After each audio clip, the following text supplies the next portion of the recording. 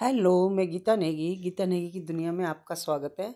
दोस्तों, अब पिटूनिया की आपको फुल केयर करनी है, क्योंकि इन्हें दो तीन मंथ में ढेर सारे फूल देने होते हैं।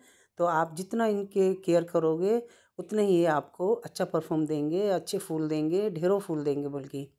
और देखिए, मैंने जो ये रिपोर्टिंग करना आपको दिखाया था पिटूनिया की, अब ये देखिए, अपना ग्रोथ में आने शुरू हो गए हैं।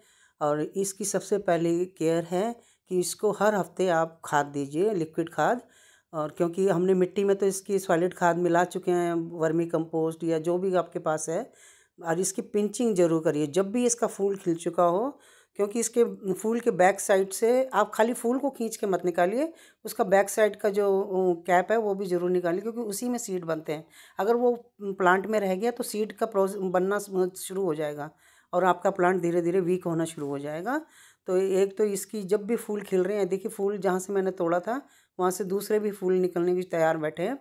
अगर आप इस तरह से नहीं करेंगे तो दूसरा फूल को बिल्कुल भी ताकत नहीं मिलेगी खिलने की और वो वहीं का वहीं ख़राब हो जाएगा। तो एक तो जैसे ही फूल खिल जाए तो फ़ौर उसको नेक्स्ट डे उसकी पिंचिंग कर दीजिए।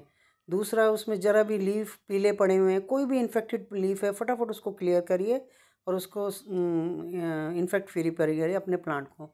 और हर दूसरे ती, तीसरे दिन इस पर नीम ऑयल का स्प्रे ज़रूर कर लीजिए स्टार्टिंग में क्योंकि जब जब ये प्लांट कोमल होता है तो इस पर इंसेक्ट लगने के ख़तरे भी ज़्यादा रहते हैं। तो मैं हर पंद्रह दिन में नीम ऑयल का स्प्रे इसमें कर रही हूँ और धीरे धीरे ये अपना ग्रोथ पकड़ रहा है।